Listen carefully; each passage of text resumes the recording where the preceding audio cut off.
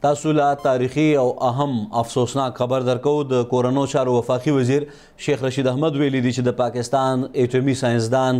ډاکټر عبدالقدیر خان په حق رسیدلې دي شیخ رشید احمد ویلي دي چې په هسپتال کې د ډاکټر عبدالقدیر خان د ژوند بچکولو کوششونه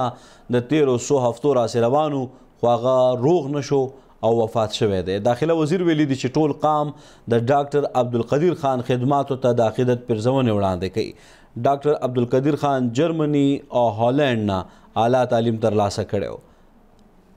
ډاکټر عبدالقدیر خان 1952 کې پاکستان ته منتقل شوی و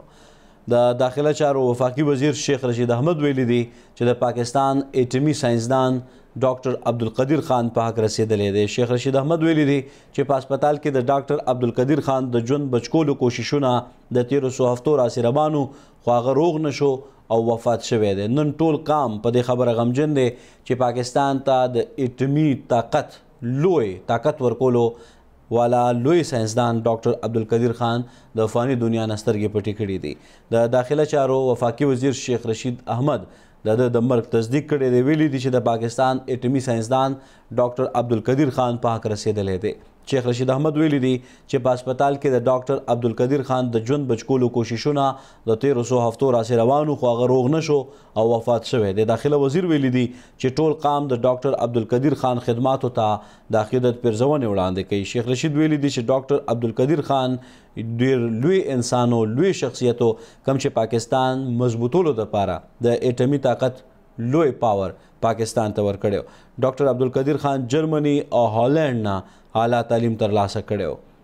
هغه په نولس سوه دوه پنځوس کې پاکستان ته منتقل شوی او دا وخت د پوره پاکستان د ولس لپاره ډیر افسوسناک خبر دی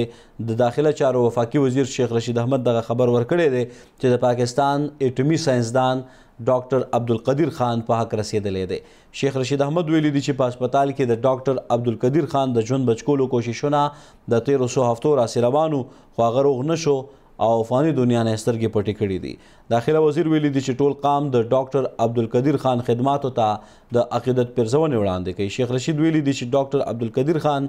جرمني او هالند نه اعلی تعلیم ترلاسه کړی او دغه ټولې هلې ځلې د پاکستان په ښه راوستي دی هغه په نولس سوه دوه پنځوس کې پاکستان ته منتقل شوی و د کورنو چارو وفاقي وزیر شیخ رشید احمد د پوره قام د پاره دغه افسوسناک خبر وړاندې کړی دی چې د پاکستان اټمي ساينسدان ډاکټر عبدالقدیر خان په حق رسیدلې دی شیخ رشید احمد ویلي دي چې په هسپتال کې د ډاکټر عبدالقدیر خان د ژوند بچکولو کوششونه د تیرو سو هفتو راس روانو خو هغه روغ نشو او وفات شوی دی داخله وزیر ویلي دي چې ټول قام د ډاکټر عبدالقدیر خان خدماتو ته د عقیدت پرځونې وړاندې کوي شیخ رشید ویلي دي چې ډاکټر عبدالقدیر خان لوی خدمات تر سره کړي وو ډاکټر عبدالقدیر خان جرمني او هالند نه اعلی تعلیم تر لاسه کړی و هغه 1918 کې هالند کې ماستر او 1902 اویا کې بیلجیم نه پی ایچ ډي ډیګري تر لاسه کړی و په 1952 کې پاکستان ته منتقل شوی و د کورنو چارو وفاقي وزیر شیخ رشید احمد ویلي دي چې د پاکستان اټمي ساينسدان ډاکټر عبدالقدیر خان په حق رسیدلې دي شیخ رشید احمد ویلي دي چې په هسپتال کې د ډاکټر عبدالقدیر خان د ژوند بچکولو کوششونه د تیرو څو هفتو راسې روانو خو هغه روغ نشو او وفات شوی دی پاکستان چونکې په پوره منطقه کې په جغرافیایي توګه ډیر لوی اهمیت لري او وخت په وخت پاکستان ته د نقصان رسولو هڅې کیږي په داسې دور کې چې کله پاکستان آزاد شو پاکستان ته مشکلات راپیښو ولې د ډاکټر عبدالقدیر خان غوندې لوی خلک زیګولو سره پاکستان کې دننه د پاکستان دفاع بزبوتولو لپاره د اټمی طاقت ورکولو لپاره ډاکټر عبدالقدیر خان خپل هلې ځلې پیل کړې وي او هغه وخت پاکستان ته د اټمی طاقت لویا توفه ورکا کله چې پوره دنیا پاکستان ته سترګې وي او پاکستان ته د نقصان رسولو هڅې کېدې. د داخله چارو وزیر شیخ رشید احمد ویلي دي چې د پاکستان اټمي ساینسدان ډاکټر عبدالقدیر خان په حق رسېدلی دی. شیخ رشید احمد ویلي دي چې په هسپتال کې د ډاکټر عبدالقدیر خان د ژوند بچ کولو کوششونه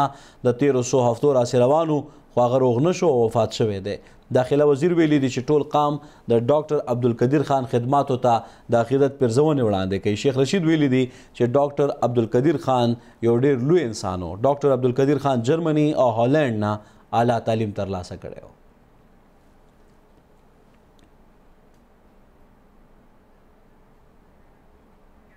او تاسو د معمول نشریات کته شي